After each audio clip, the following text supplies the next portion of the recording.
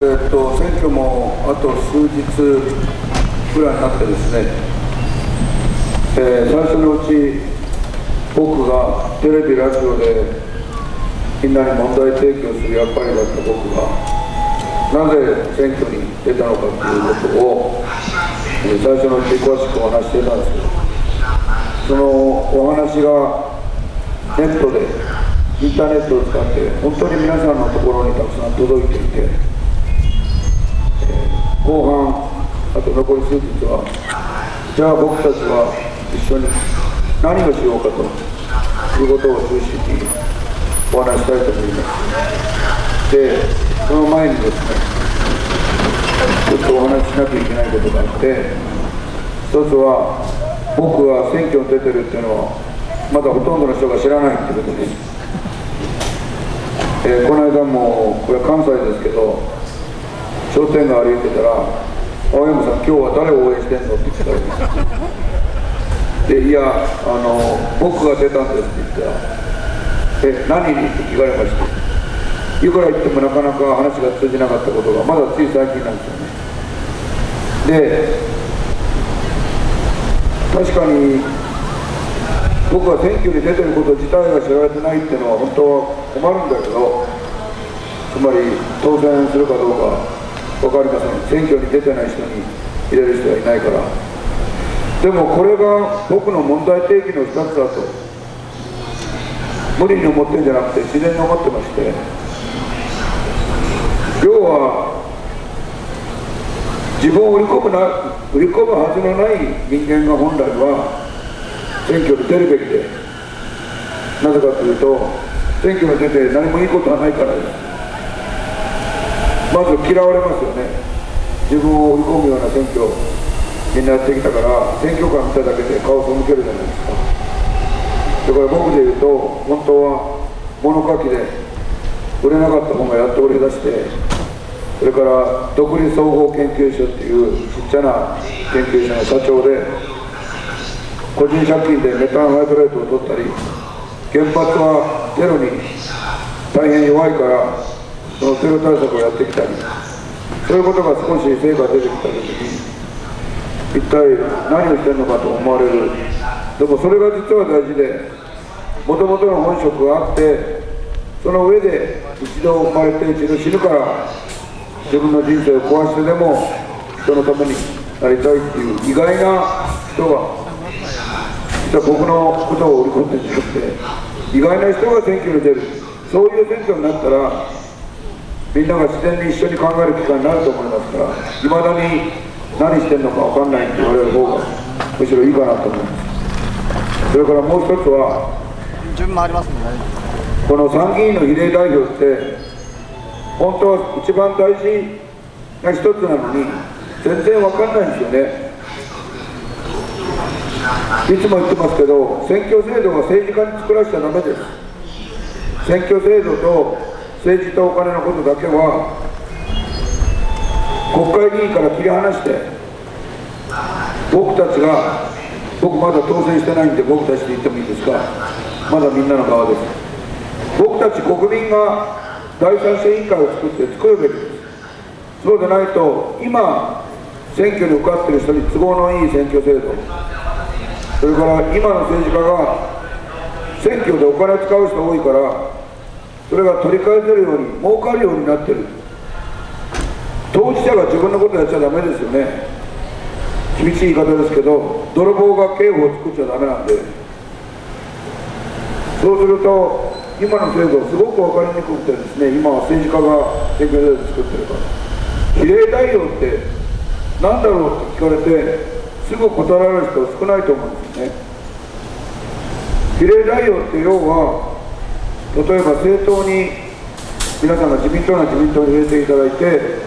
そこからこう比率に合わせて候補者決めていく。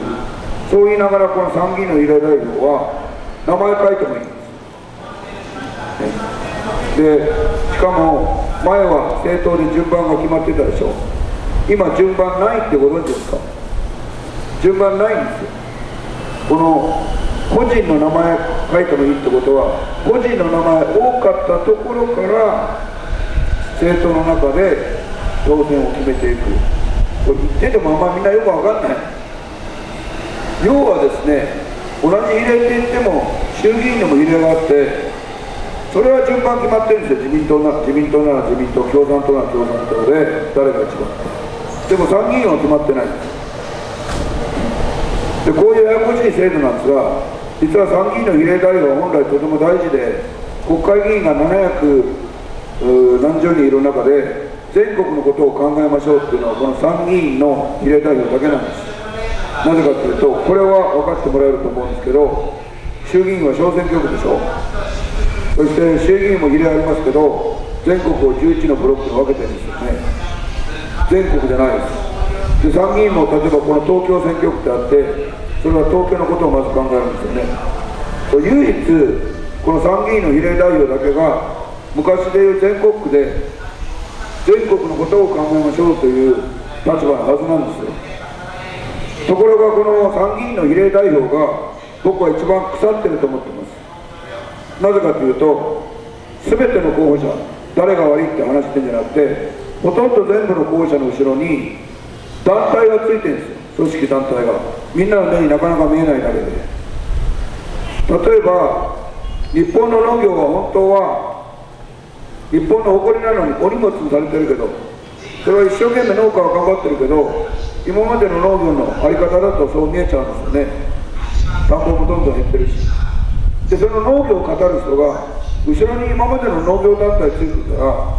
そのおかげで例えば50万票組織からもらって当選したら国会議員になってから新しいこと言えるんですか？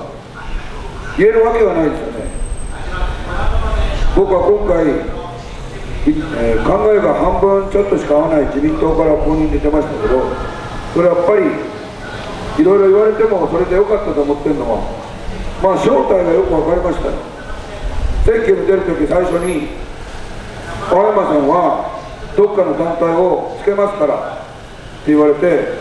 それお断りだと言ったんですよ。こうやって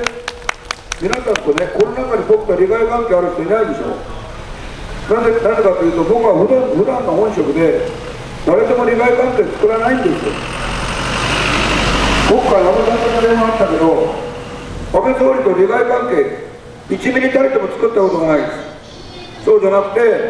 えば日韓合意は70年前の私たちの先輩それも自分のためじゃなくて人のために戦った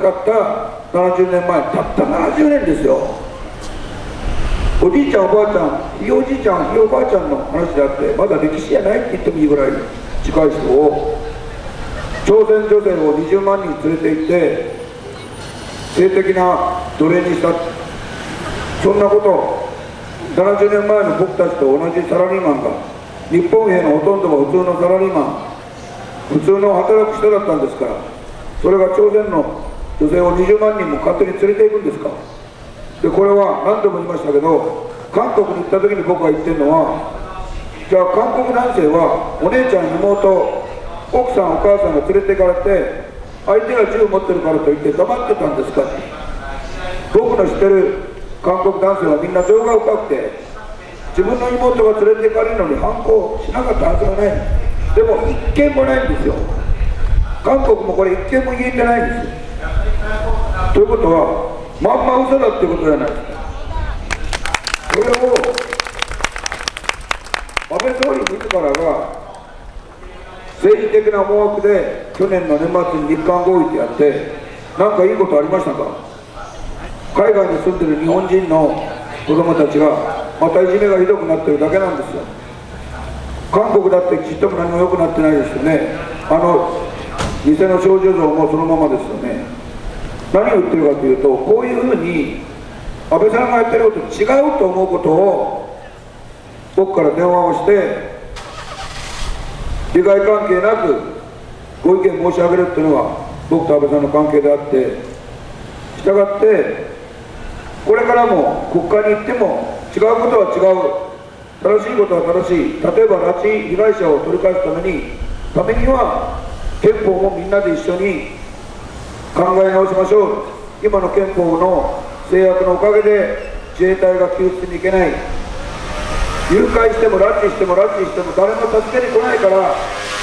北朝鮮は安心して日本人をたくさん拉致していってとうとう100人超えてしまってるんですか。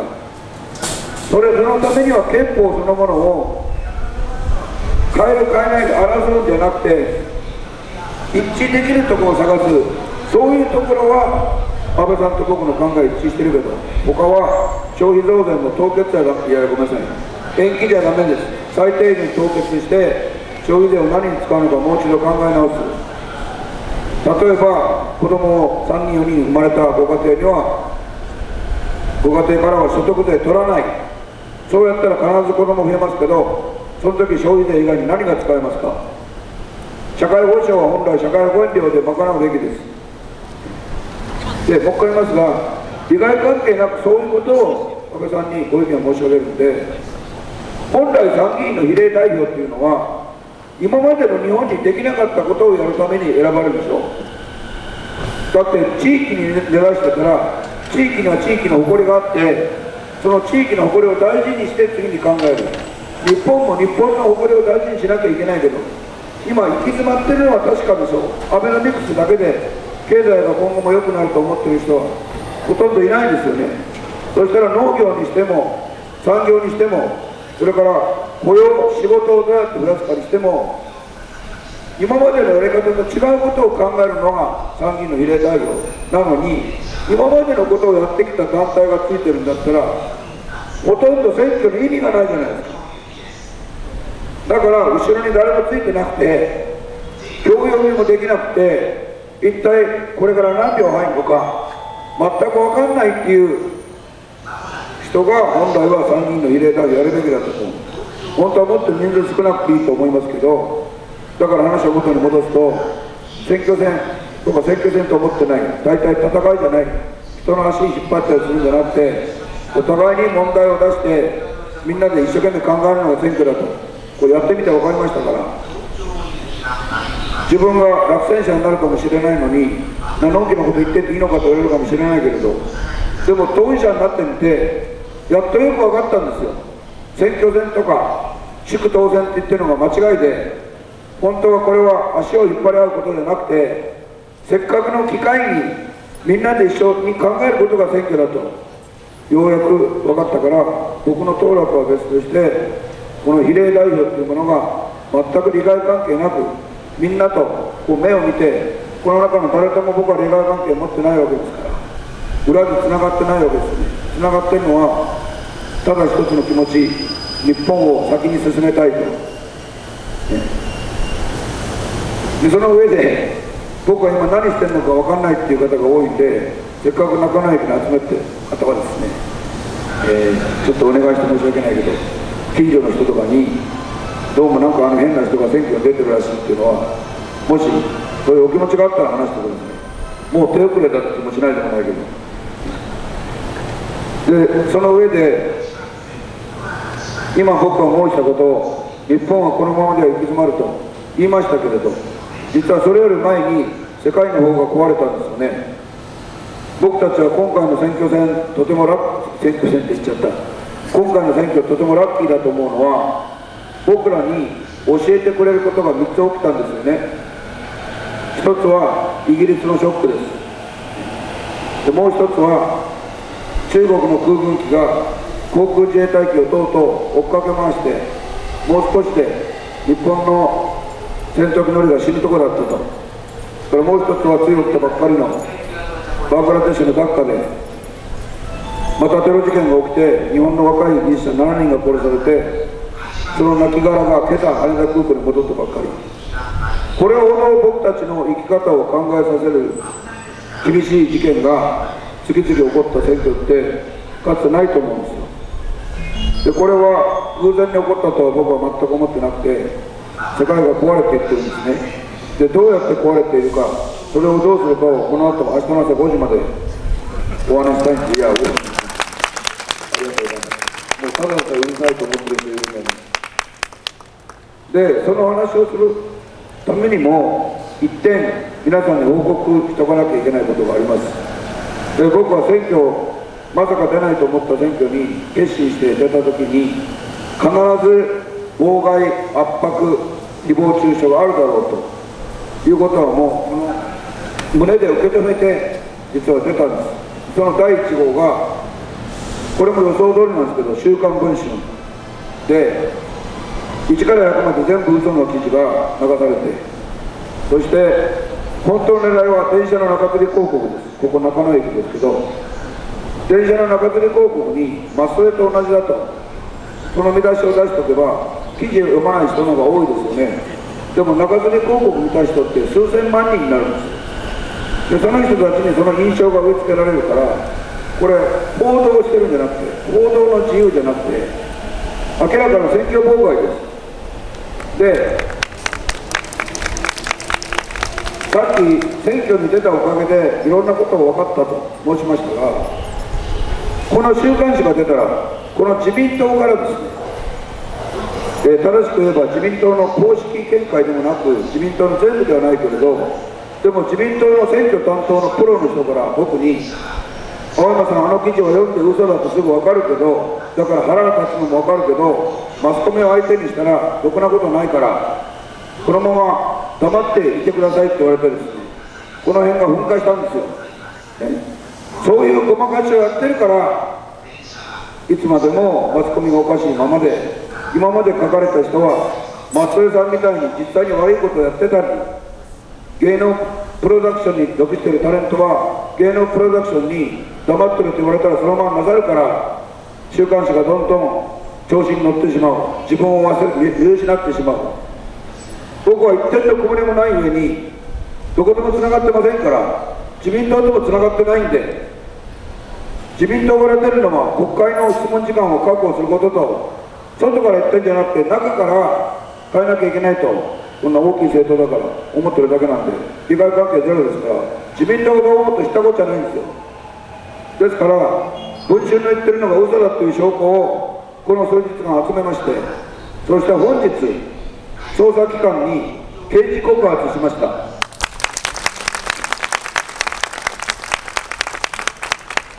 で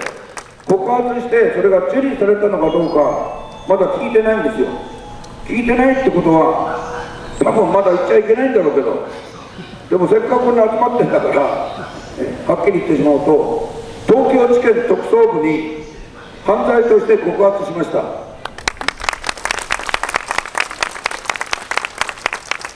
東京地検特捜部も不祥事いろいろあったけれどもしかしそれだからこそ今身をきれいにして本当の捜査をやろうとしてます。でその上でこれはちょっとっぱり僕たち覚えておいてほしいんですけど覚えておきたいんですけど公職選挙法って法律の第235条の2っていうところに新聞雑誌で嘘を書いて選挙を妨害したら罪になるとはっきり書いてあるのに僕も皆さんも印象に残ってないんですよね。なんでかというと書かれても自分にやましいところがあったりあるいは裏でつながりがあるから裏から言われたら黙ってしまうってことが繰り返されてこのせっかくある法律が生かされてないんですよ。僕はこの告発で明らかに損をします。マスコミの力は大きいです。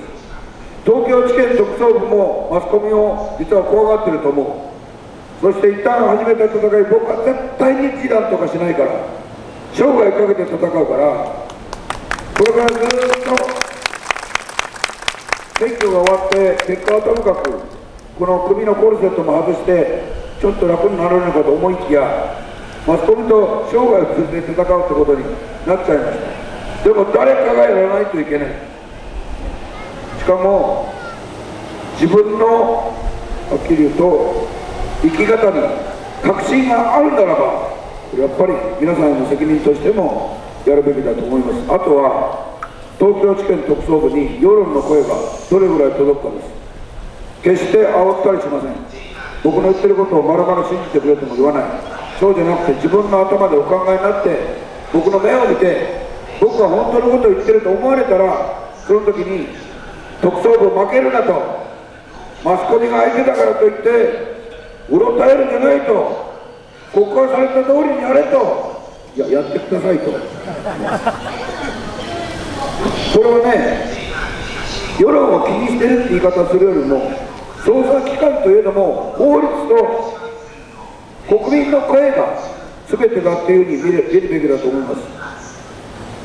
国民がそんな捜査やってるんだったら他に違うことやんなさいというのにそれをわざわざやるっていうのはやっぱりおかしい。そうじゃなくて国民がやっぱりみんな本来は少しは信用できるマスコミであってほしい。少しは情報が取れるマスコミであってほしいと思われてこの機会に少しでも正しくするべきだと思われたらその声を東京支店特捜部にメールでも電話でもいいと思いますけど抗議とかそういうことではなくてご自分の声としてご自分のお考えとして届けてください。それに僕はこれから左右されていくと思います。でこのことはもっと詳しく言うことはもったいないです。時間が。この選挙を通じて思っているのは本当に皆さんの人生の貴重な時間を僕はいただいてしかもこれ中野ですけど本当に遠く遠くから来られてる方もいらっしゃるんでもうこの話はとにかく具体的に実際にその通り刑事告発しました。それも今まで例がないと思いますけど警察じゃなくて東京地検特捜部です。ということだけご報告したら今日はもうそれでいいと思います。でその上で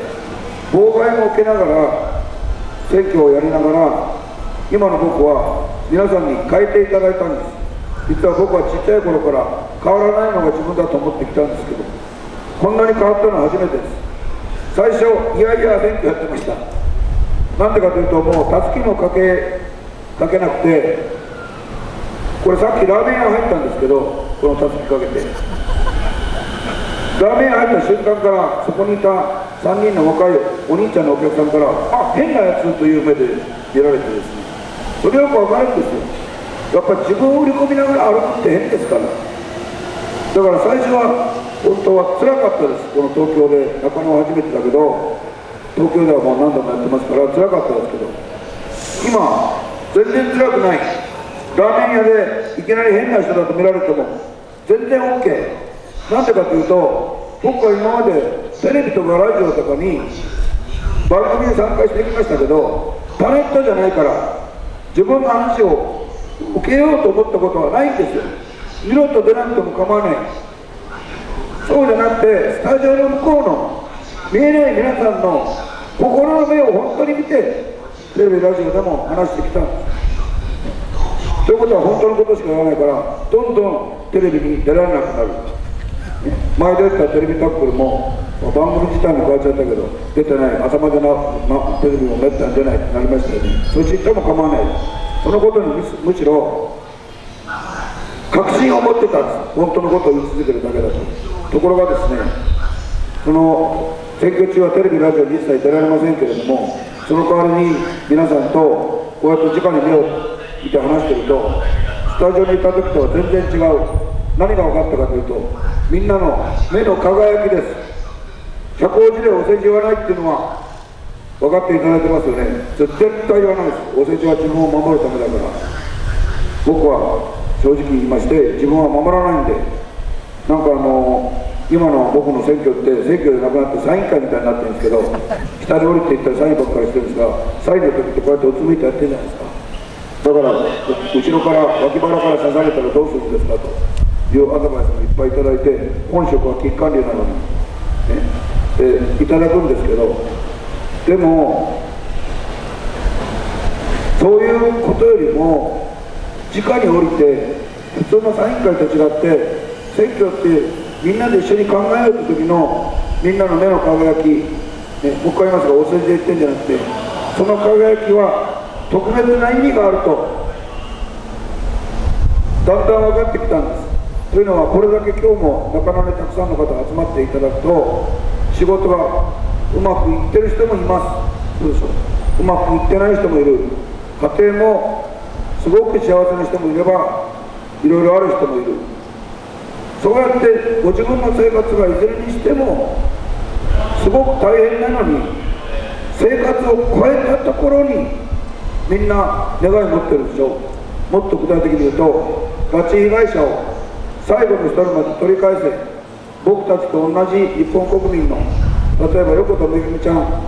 13歳で誘拐されて今51歳だ。めぐみちゃんだけじゃなくて本当は100人を超えているであろ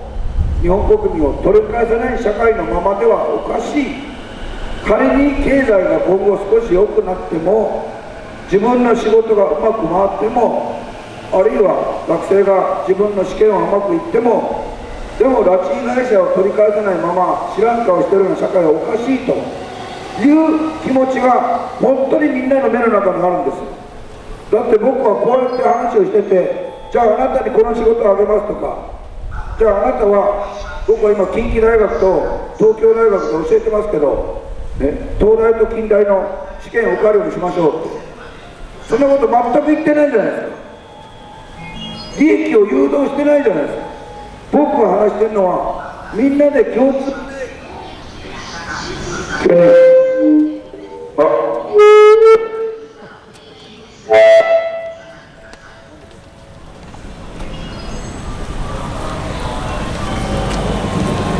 えー、北朝鮮の陰謀です。それは冤罪です。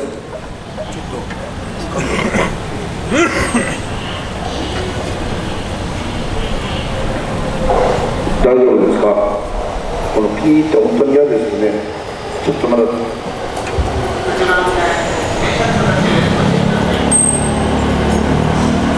大丈夫かな？はい大丈夫です。頑張ってます。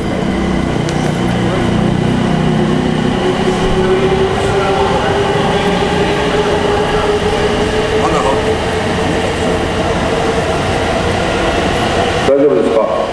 要するに僕が怒鳴ればいいわけですね、はい、マイクの感度を上げるとさっきみたいになっちゃうみたいですが途中でなるのはどうしてですかね。やっぱり北朝鮮が頑張ってる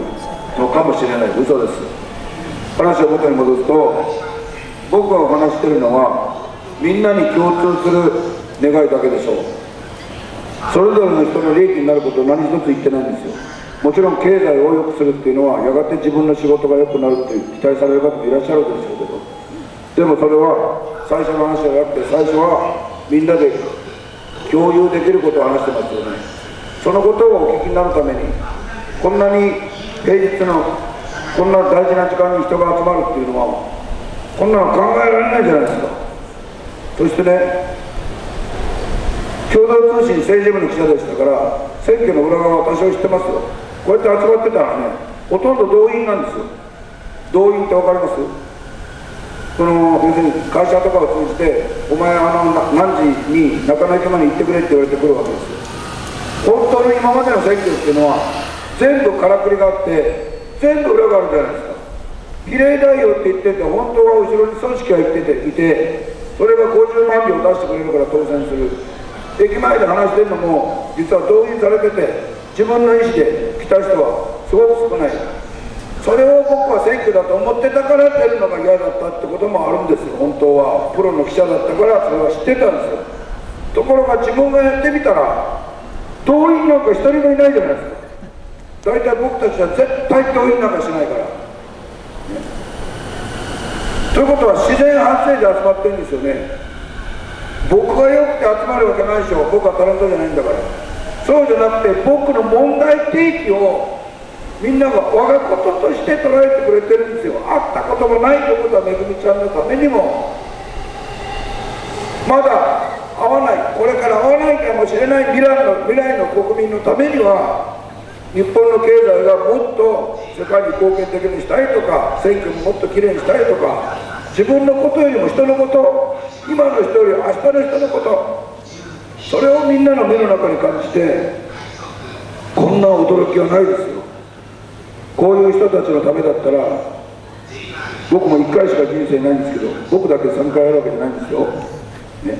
僕も1回しかなくてあとは小説を書いてスポーツだけをするつもりだったのがめちゃくちゃになっちゃったけどもしかしこの皆さんの瞳の輝きそれもああ自分がうまくいきそうだ好きな人とついに結婚できそうだっていうのも素晴らしいけどそれよりももう一度言います。会ったこともない人のために日本の社会を良くしたい。こんなことを願ってる選挙民有権者国民世界にいると思います。僕はこれだけ世界を回ってきたけどそんな人見たことないですよ。僕はもともと愛国者でしたがいやいや違う愛国者ですがそれは日本が良いからじゃないんですよ。良いから都合がいいからああするんじゃなくて僕と皆さんの命を育んでくれた産んでくれたから祖国日本を愛する。その愛国者です。本当は日本社会は僕らにとってはすっごく住みにくかった。今も住みにくいです。僕の母ちゃんは、ね、余命配偶者は船乗りです。その船乗りっていうだけでどれぐらい嫌がらせを受けたか。そして彼女はメタハイドレートの世界的権威ですけどそしたら僕はメタハイドレートって話をするとあいつは本当は母ちゃんのためにやってるんだ週刊文春と申し訳ないけど同じで人間がやってることを低い方へ低い方へ持っていく。根っこに嫉妬があるから。です日本社会が嫉妬社会なのは間違いがない。なんで選挙演説の話してるんだ。でもいいいいからいいところがあるから自分にとって馴染みやすいから愛してるんじゃなくて私たちの命を作ってくれたから愛する日本社会を生きにくってもアメリカに移住したりしない。それが僕や青山千原ですがあるいは独立総合研究所の社員の生き方だったけどこの選挙でもうガラッと変わりました。まあ青山千原博士は今も船に乗って沖縄の海で熱水交渉って調べてるから戻ってくるのは7月12日だそうです。あれ？全部終わってるじゃないですか、しかし僕自身で申せば本当にこの選挙を通じて生き方が変わると思います。みんなの願いがどこにあるかがやっとよく分かった。テレビラジオでは分からない。スタジオでは分からないもの。日本人の一番の素晴らしさ。嫉妬心もある社会だけれどしかしここまで人のためにもう一回言います。会ったことのない横田めぐみさん有本恵子ちゃん田中稔さん松本京子さんこういう拉致被害者のために考える心を持っている国民というのは必ず必ず拉致被害者を取り返せるしそのためには僕も力を尽かさなきゃいけないっていうのが僕の力もやっと使えるっていうのが本当によく分かったんです。で拉致事件だけの話に終わっちゃいけないんだろうけどでもちょっと聞いてください。ずっとこの選挙を通じて申し上げてるのは拉致事件といういわば抽象的な言葉で理解してほしくないんですね。皆さんは大丈夫だと思いますけど。例えば横田めぐみちゃんの話僕からも聞いたって人どれぐらいいます？はい結構いらっしゃいますね。で松本京子さんの話聞いたっていう人。はい、でも少しいらっしゃる、うんと、誰がどうって話したくないけど例えばめぐみちゃんで言うと聞いた人ももう一回聞いてください。実際起きたことは13歳の中学生がバドミントンの練習終わって新潟の自宅まであと100メートルのところで新潟の住宅街に白昼堂々と外国人のすなわち北朝鮮の工作員が本当に現れて全部を再現できない。ね、全部分かってない面もあるけど分かってる範囲内僕の責任で言えばこういう手堅な手刀ですね。これで腹をパッて殴ったと。で今は腹筋入れてるから僕は耐えるけど女の子当然こうなりますよね。そしたら上からもう一人が首筋に人を振り下ろして崩れ落ちためぐみちゃんを白昼堂々新潟の住宅街でズダ袋に詰め込んでこれも堂々と海岸線に止めてたボートに乗せてそしてその後沖合といっても目の前です。沖合の沖合に止まってた母船これは観音開きといって言いまして仏壇と同じように左右に開くからそこを開けてそのボートを入れてそして失神してるめぐみちゃんを引きずり出して船底に詰め込んだ。船底は窓がない。真っ暗です。そして船は海上保安庁とか海上自衛隊の船がいる日本海を平気で北朝鮮に向かって戻り始めてそして波が打つ音で失神してためぐみちゃんが目覚ましたら特に女子は女性の方は13歳の自分を思い出してください。そのあなた様が真っ暗の中で目覚めて何が起きてるのかどこにいるのか分からない。だからあなたもきっとなさるでしょう。めぐみちゃんもお母さんお母さんお母さんって言って今テレビにやむを出てる横田早紀江さんですよ。あのお母さんお母さんお母さんって言って真っ暗の中でかきむしってかきむしってそれで北朝鮮の港にその船がついてしまって北朝鮮の工作員がめぐみちゃんを引きずり出した時には両手の爪がほとんど剥がれてて両手が真っ赤だったっていうのが横田めぐみ事件の始まりです。ご自分のお嬢さんとか近所のお嬢さんとかそしてご自分にこれが起きていたら何を考えますか？きっといつかは日本が取り返しに来てくれると思いますよね。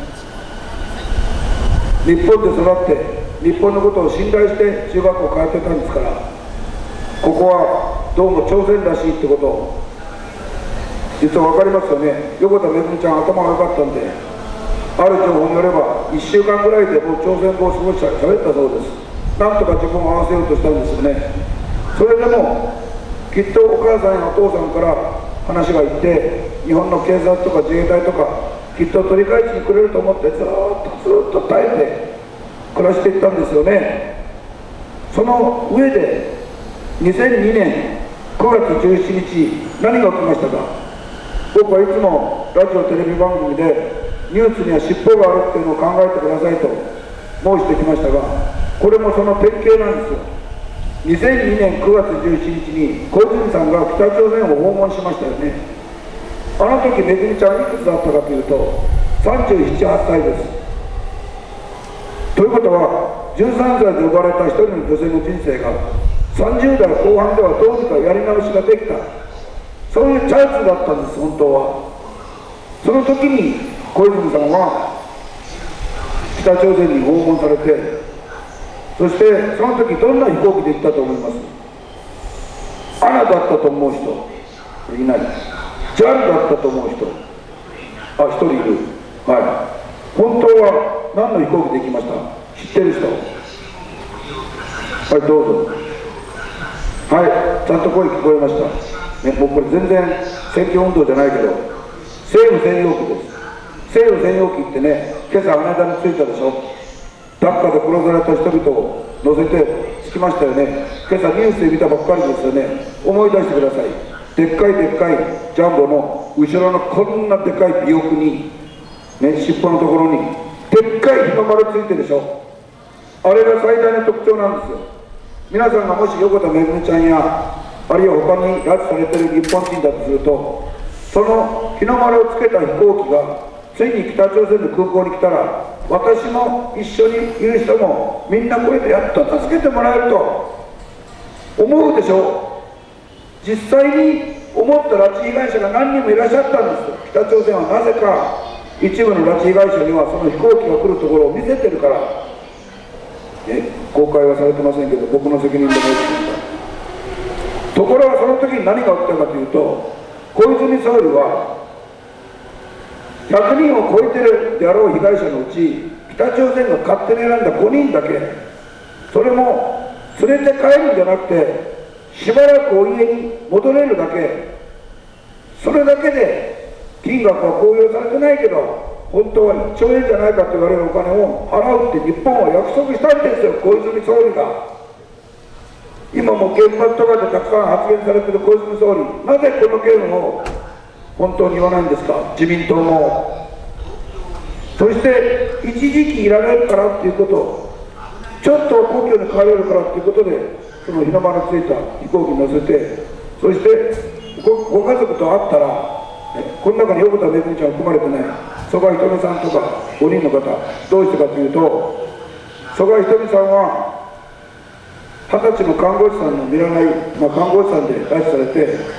いわば北朝鮮はそこを狙って襲ったんです。5人に分かります？拉致事件の問題っていうのは単に誘拐されたってじゃなくてその情報を提供した日本の人がいたということです。本当は誰か分かってるケースもある。でも日本はなぜか戦争に負けたらスパイ防止法もない軍隊もない国の警察もないんですよ。国家の警察もない地方自治体の警察しかない。とにかく国民を守る仕組みがほとんどないから。情報提供したい人も自由にいるわけです。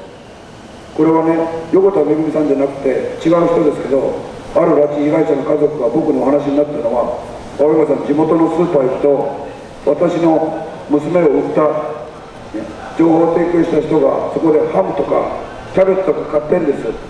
後ろから飛びかかって首絞めそうになるけどいつか国民が嫌っていてスパイ防止をちゃんと作ってくれると思うから我慢してると。言われるんです、ね、これで分かるように拉致事件のうち全部ではないけどかなりが日本人がこの人はちょうどいいと北朝鮮の条件に合うと情報提供してされてて例えば曽我ひとみさんは看護師の技術があって人柄が良くてそしてとても健康だから使いやすいってことで拉致したら人柄が良すぎて鉱山活動に不向きだったから実は鉱山活動できずにジェンキンスの軍曹っていうアメリカ軍から逃げた人と結婚しただけだったから北朝鮮が何やってるかよく分かってないから日本に返しても大丈夫。北朝鮮が犯人がそうやって適当に選んだ人をしかも佐渡島の家族に会ったらもう一回連れ戻すということで日本も金払う約束したんです。これが日本の正体でしかもその時に肝心なことの一つは小泉総理も官房副長官になった安倍さんも一民間人の僕も北朝鮮は今度は拉致事件そのものを初めて認めるだろうと思ってたんです。今よりもっと金なくて苦しんでたから。でも国の責任を認めるわけがない。そしたら国家賠償になって普通大変でしょう。国は何もしてない。北朝鮮にも悪い犯罪者がいて彼らが勝手にやったんだ。それをちゃんと償ってあげるから感謝しろと。だから金払えと必ずこういう言い方をすると思ってたらあの2002年9月11日の金正恩総書記を思い出してください。いきなり国がやったって言ったんですよ。北朝鮮の国家機関がやったって言った。んですどうしてか。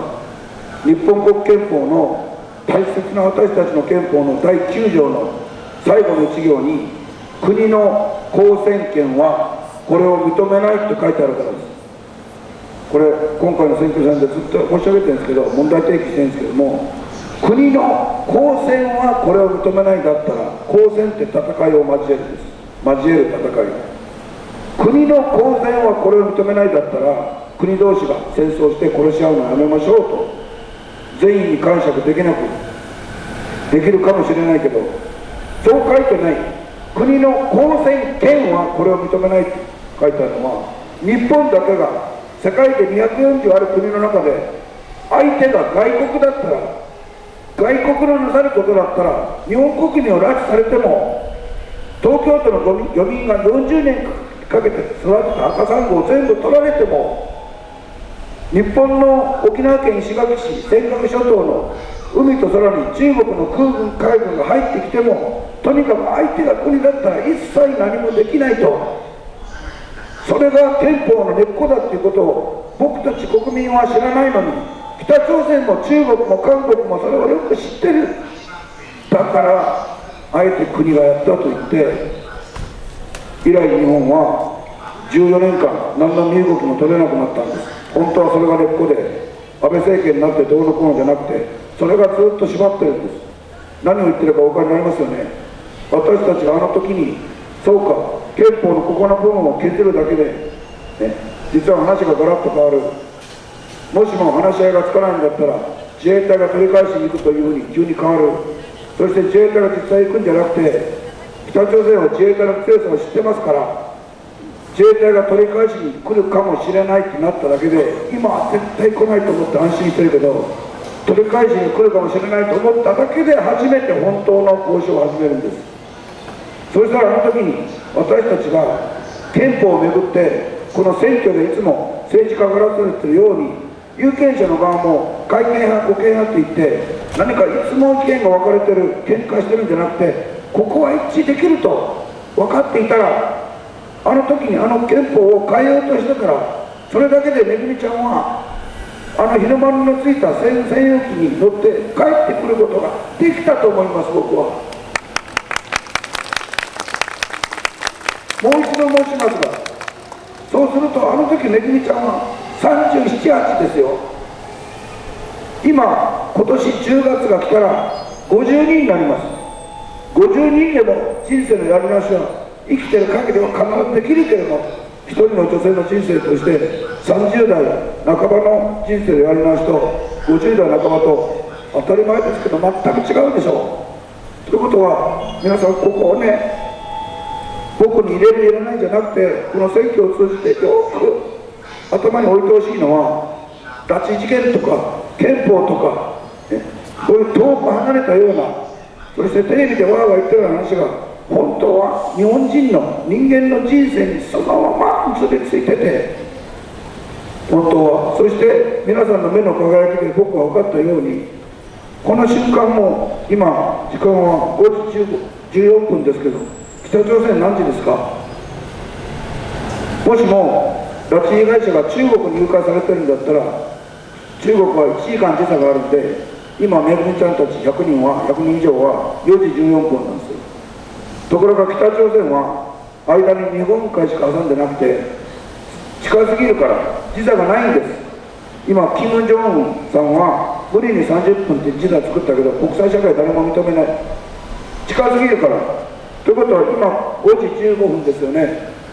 この後僕も皆さんも晩ご飯食べますよね。じゃあめぐみちゃん有本恵子ちゃん田中みのるさん松本京子さんこういう拉致被害者が何時にご飯食べるんですか？僕たちと同じ時間ですよ。そして300万人が飢え死んだ国でそれも捕らわれて今日も明日の朝もご飯食べるんですよ。皆さんそこに魂では気がついてますよね。だから僕に目の輝きが伝わるんですよね。その人たちは絶対持っとかないと。政治は利益利益で動いてるけどみんなは利益だけで生きてんじゃないからその人たちがまともなご飯食べられないで自分たちが朝昼晩食べればいいと思ってない。思ってないみんなだから中川駅に集まってくれて利害関係も何にもない僕と一緒に考えて僕の生き方まで変えてくれた。その尊い心根を現実に生かしませんか？こっちの側から政治変えませんか？なんでいつも争ってんだと？それは弱肉強食人の足を引っ張ってよいという西洋の考え方であって僕たちの日本では政治のことを本当は祭りごとって言うんです。祭りごとっていうのはみんなで一緒にやることを言うんです。だから共通点を見つけるのが見つけるのが日本の政治なんでそもそももう一回言います。選挙が選挙戦といって当選したら万歳人を押しのけて喜んでる。そういう選挙から僕の投げた小さな小石をきっかけにどうぞ考える機会にしてほしいんですよ。昨日板橋でお話をしてたら東京板橋で質問が出てですね青山さんあなたは1期しかやらないって分かったと、ね、1期しかやらない。なぜかというと1期2期3期とやって政治が職業になって美味しい思いして世襲までするっていうのが一番最悪のこと。安倍さんだって世襲ですよね。そういうことを続けちゃいけない。だから僕は1期しかやらない。それは分かっていただいてるけど質問はこれから3年経って、まあ、仮に僕は間違って当選したって人ですよ。3年経って青山さんの生き方に共鳴して今まで政治なんかやるはずなかった人から手を挙げて3年後から参議院選挙あるからその時に同じような選挙やりたいっていう人が出たらどうしますかって言われて僕は思わずめっちゃいいこと聞きますねって言ったんですよ、ね、絶対僕より皆さんの方がはるかにすごいわそその通りだと思う。今回は僕一人だけど面白いと思いません？3年後またこういう制度かどうか分かんないけどとにかく後ろに団体もいない。そして選挙に「いや嫌だ嫌だ」って言いながら出て出たらみんなの目の輝きにむしろ教えられるっていう候補者がひょっとしたら何人かに出てくるかもしれない。残念ながらお金はないからお金の支援はできないけれどもしかしそうなったら絶対変わりますよね。選挙が変わったら政治は絶対変わるから。でね今途中経過ですけど報告しておきますがあんまりお金かかってないんですよ。選挙って金かかるって言われるでしょ？なんでかかるのかな？僕たちがかかった最大のお金はですねこれ今東京ですけど大阪にもう一台選挙があったのが初日に事故って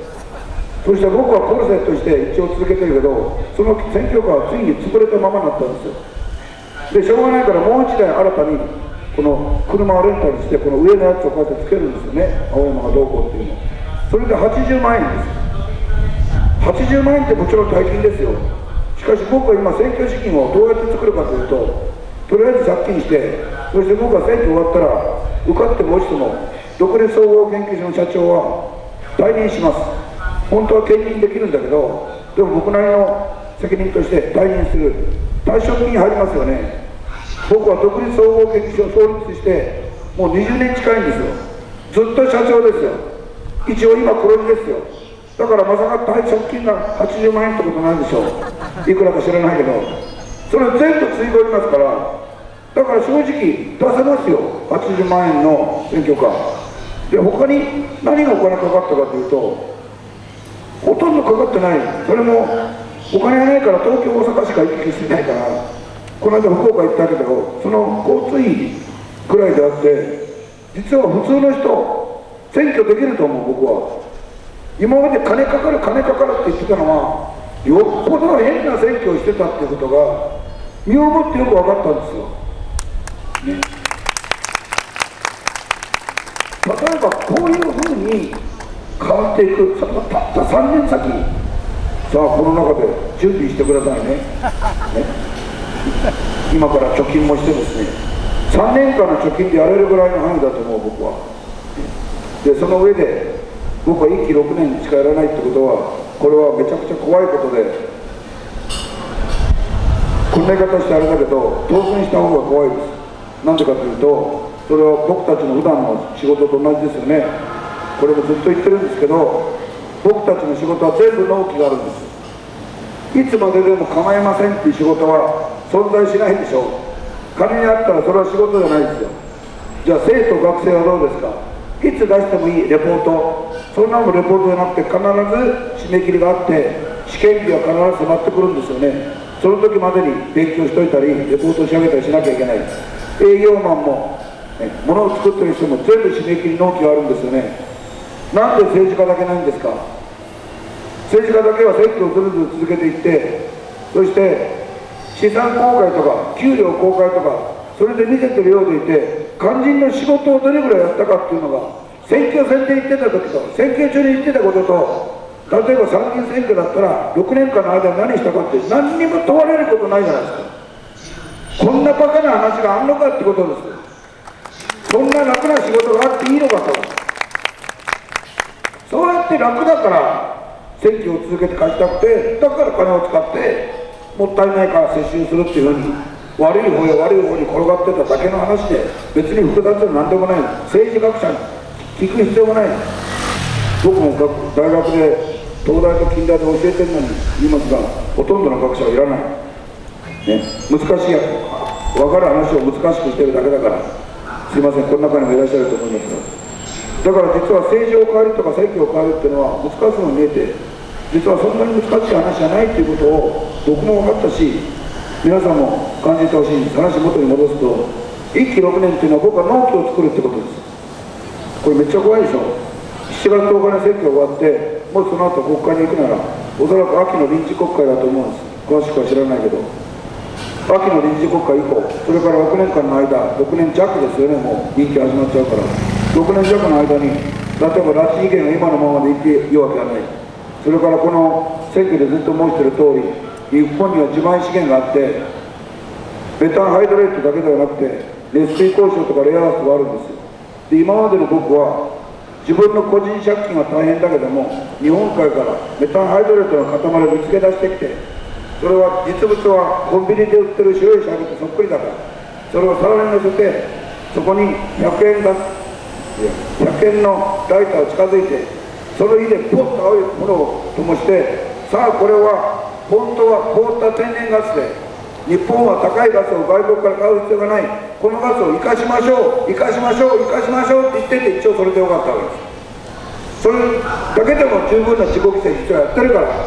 借金まで背負って。ところが今度は6年の間にそれを実用化にしなきゃいけないんですよね。選挙でこう言ってるって以上は。それから農業も今おいしいご飯ね食べながらこれは本当は世界が待ってる食料なんだ。日本の農業はお荷物じゃなくて輸出産業に転換したらそれもお上農水省に任せてると大規模農業とか言って本当は零細農家潰してアメリカの大規模農園と同じ土俵に上げちゃうから日本農家はもっと苦しむ。お上に任せるんじゃなくて自分農家ご自分とちっちゃな商社と組んで自分の自信持ってる農産物を売れるレストランをあるいは欲しがってる難民キャンプを世界で探していけば必ず利益も出るそういうノートになるそういう提案を家で美味しいご飯食べながら言ってたわけでしょ。ところが今度6年の間にそれを形にしなきゃいけないです、ね、実は他にもやることはたくさんあって例えば皆さんに、えー、僕の仕事を全部言ってないんですけど正直言い切れないいろんなことをやってます。例えば軟禁虐殺っていうのは実は全くないです。それは僕の責任で言いますけど僕が調べた限りで言うと中国の国民党軍が自国民をたくさんスパイにしてて日本軍が南京に近づいた時にこれは都合が悪いというんで自国民を殺害した。それが事件の背景です。それを知ってるから毛沢東国家主席共産党の毛沢東さんは生きてる時に南京事件ってことを一度も言ったことがない。ですもしも日本軍がやったんだったら毛沢東さんが言ってないってことはありえないです。これをですね例えばハワイっていうところありますよね。ハワイ。皆さんが観光で来られるハワイ。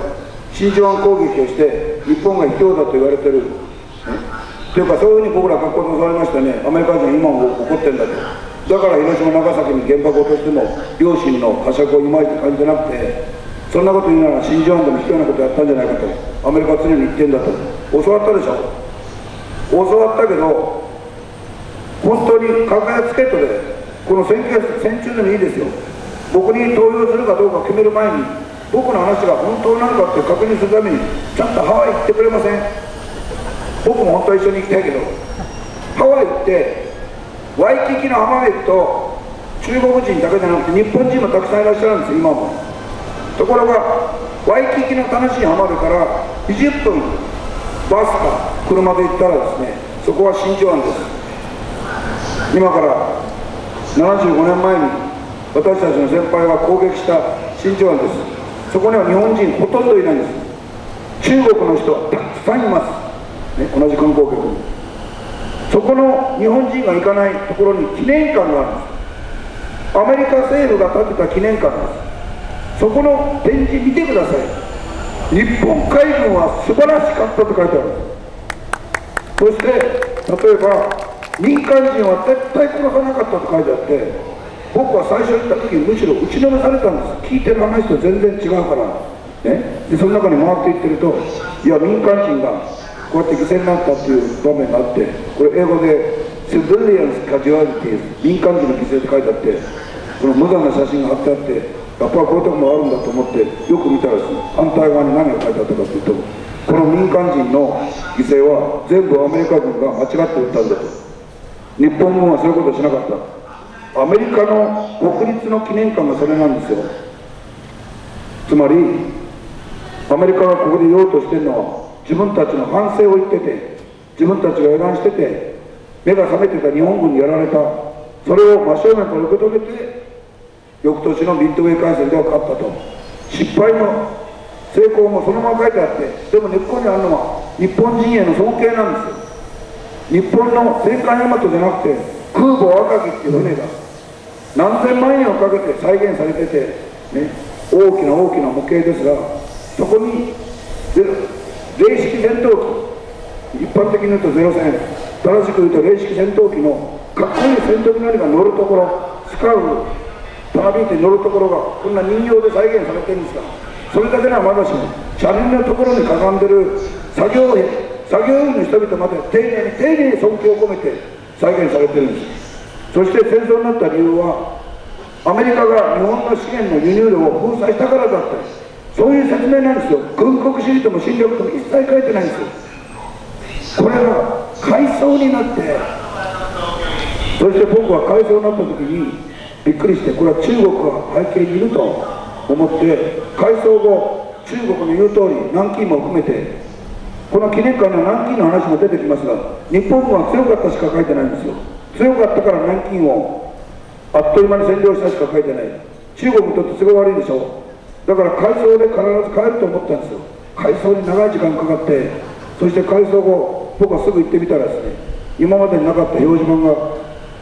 入り口に立っててだんだんそう近づいていくとあやばって感じだったんですが近づいていって何が書いてあったか。原文は英語ですけど日本語に訳して言うとですね日本もアメリカも新しい世界を求めた。あれ？でしょ。そして日本もアメリカも戦争を回避しようと努めたと、ね、やむを得ずここで衝突になったんだということがまとめて書いてあるのが新たに置かれたんですよ。つまり明らかに中国は展示内容を変えろといったことに抵抗したんですよね。ところが皆さん聞いてほしいのはこの間行った時に新しく何が起きてたかというとこの記念館の隣に格納庫があるんです、ね、爆撃機とか入れてた格納庫。そこにですね中国は莫大なお金をこの記念館に出して新庄の記念館の本当橋を渡った向かい側です。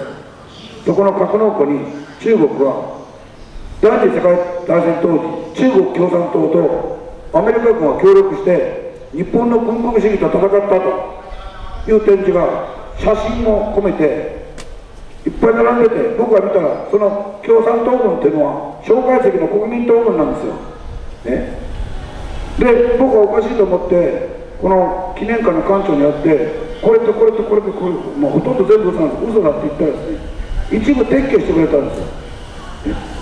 これ何の話をしてるかというとそもそも日本人が新庄に行った時に自分たちが悪いことしたと思ってるから簡単な英語で書いてあるのに実は日本も褒められてるってことに何十年気が付いてないんですよ。戦争が終わってもう71年ですよ。ほとんどの間この記念館あるんですよ。ところが外務省の人ですら英語があんなに堪能であっても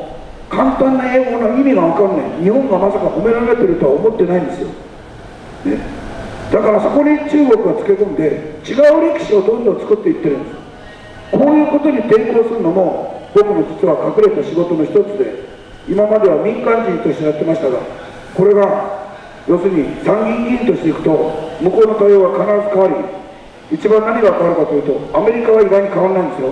そこはアメリカはさすがで僕が本気かどうか。そして僕はどこまで英語を喋れてどこまで正確な知識を持ってて中国側ともどこまで議論してるかって公平に見る。変わるのは中国の方です。今まで日本の国会議員でこういうことをやってきた人は安倍総理も含めてほとんどいらっしゃらないんですよ。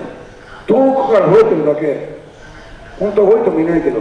そうすると僕たちの歴史がどんどんどんどん僕言いますよ。第二次世界大戦で共産党とアメリカ軍が一緒に日本の軍国主義と戦った。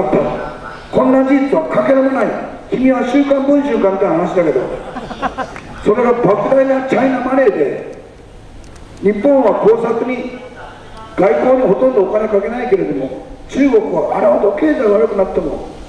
何兆円ってかけるんですよ、でそれに対抗するのも実は本当は国会議員が票にならなくてもみんなから認められなくてもそれどころか右翼とか必ず日本のマスコミに攻撃されてもやらなきゃいけない。その時に次の選挙を気にしてたらあえて言うといくら僕でもやっぱり躊躇するかもしれない。スタッフも増えるかもしれない。勝たなきゃいけないと思うかもしれない。それを全部やめるために一気限り一気限りだから相手にされるんじゃなくて一気限りってことは名前もいらない。名誉もいらない。命もいらない。もちろん金は元からいらない。こんなやりにくい相手がこの歴史記念館とかにうろうろ現れてしかも日本の公な立場で来たらきっと中国の中にも日本が変わった。あるいは変わりつつある。3年後の選挙ではこの変な青山君みたいな候補者もまた出てくる。そうしたら今まで通りのやり方ではできないのかなと、ね、ちょっとは本当のこともやらなきゃいけないのかなと思うようになる。こういうふうに正しい日本の姿を先に伝えることもまた僕の仕事の一つです。もう時間がないそうなのでこの中野では経済の話をほとんどしませんでしたけれどもしかし経済も2点だけ言っておくと要は日本にできないと思ってたことをやるんです。メタンハードレート僕らは実際に取り出してますからそれは凍ってる天然ガスだから日本海からこっちに持ってくればはるかに安いガスと電気が手に入る。そして過疎に悩む日本海の側が資源産業は日本には絶対できないと思った資源産業が勃興起これば勃興すればその日本海の側の過疎っていうのが実は伸びしろなんです。日本経済は何も悪くない。起きてるのは成熟しきったからなかなか成長できないっていうだけなんです。よ背が伸びきった大人がもう背が伸びないと変わらないんです。よ悪いことしてるわけじゃない。経済評論家をざつくな。日本を貶めるな。日本むしろ頑張っているけどどうしても成熟したら伸びしろがない。ところが闇は光を生むから。光は闇でしか見えないからあの苦しい苦しい日本海の側の過疎が日本の伸びしろなんです。まだぐっと体が大きくなれるんです。そこに資源産業ましてや日本ができないと思い込んでた資源産業をこうしたら東京中野も含めてどれぐらい日本経済全体が押し上げられるか、ね、その上で日本が世界の食糧危機を克服する輸出産業になっていけば誇りも取り戻せそしてその資源も食料と同じように世界に出せるぐらいの量がありますから本当は。僕たちは19年間それを調べてきたんですよ。自前で。政府のお金でやってる東大の先生はずるずると研究を引き延ばすんです。なぜかというと来来年も予算欲しいから。僕たちは最初から予算もらわずにやってるから本当の結論としてメタンハイドレートを輸出できます。世界が資源と食料をめぐって戦争になっている時代に儲けで儲けを狙って支配を狙って輸出してたアメリカに代わって日本がフェアな輸出をしたら本当に日本は憲法が一番目指しているところの平和国家になるじゃないですか。ちょうどこの参議院選挙の最中にイギリスの悲劇が起きアメリカの大統領選挙も進行しイギリスもアメリカももう戦争に勝った国ではなくてどうしていいか分からなくなってる国だということが分かった以上は日本のチャンスなんていういやらしい下品なことを考えるんじゃなくて日本の責任が生まれたと。もう敗戦国でもない資源がない国でもない自前の資源を持って世界の秩序を作り直す争い事の世界ではなくて一致的な点を探す和の政治。私たちの作ってきた文化を本当の意味で世界に輸出して戦争の輸出はなくてそれぐらいやりがいがあれば子供は何のために勉強するか何のために試験を直面するか大人は何のために働くかが分かりそうすると学校ではもちろん必ずいじめが入りますすいません教育評論家もあまりやらない小木ママは人気で申し訳ないけどねそれから仕事もこういうみんなの目的があって仕事をするんだと分かったら妬みも減る。そしてさらに自分を無理に横に合わせて、ね、人間関係うまくないかないって悩む人も実は減るんですよ。人間関係がうまくいってないんじゃなくて共通の目標がなくてお互い何のために働いてるか根っこ分からなかったらどうしても足の引っ張り合い嫉妬になるんです。それを克服するための私たちの目標を作りましょう。戦争に負けたからという理由で一度国や社会の目的を全部なくしてしまった。それはもうそれはたった70年間で終わるんです。選挙で考えるのは私に入れてくれではなくて私たちの共有できる目標は何でしょうか。これではありませんかと聞くことが実は選挙だということを教えてくれたのはあなたですよ。本当にあなたの目の輝きです。結果がどうであれまるで今日で終わりみたいに言ってるけどまだ何日も続くらしいけども皆さん本当に本当にここに集まってくださったことだけではなくてみんなの目の輝きに本当に感謝してます。ありがとうございます。お別れに一点言っとかなきゃいけないのは今のこの参議院の比例制度は投票やり方が間違ってます。変えなきゃいけない。今はとりあえずこの仕組み。比例代表っていうものに政党名書いてもいいし個人名書いてもいい。どっちなんだってわけのわかんない制度になってるから実際に期日前投票行かれた方で随分悩んだ方がいらっしゃって中にはそれだけじゃなくて自分は北海道に住んでるから東京で演説してる青山さんに入れられないんだと思って白票で書いたって人がいるんですよ。本当は北海道から沖縄までとにかく自民党の名前をお書きになったら僕のようにはなりません。ゼロです。僕と一緒にお考えになるんであれば自民党公認とか何党公認関係なく僕の目を見てあえて言うと僕の名前だけ書いていただければいいです。青山頑張れも無効になります。青山の野郎大嫌いっていうのも同じく無効になります。ただ普通に僕の名前をご書きください。自民党からはあなたの名前は漢字が難しいからひらがなカタカナに変えろって言われてまたこの辺向かしたんですよ、ね、なんでかというと名前を付けてくださる時の親っていうのは最初の愛情だけじゃなくて目に見えなくても後ろに祖先がつながってるんですよね。僕らの名前は全部親と祖先の愛がこもってるものです。それが選挙にちょっと都合がいいからといって変えるような人は本当は選挙に出るべきじゃない。そうでなくてみんな本来の名前で普通に出るような選挙をだんだん作っていきませんか。で皆さんは皆さんの側は別にカタカナで書いてひらがなで書いても多分大丈夫です。ね。なんでかというと青山茂春って人は僕一人しか出てないそうだから。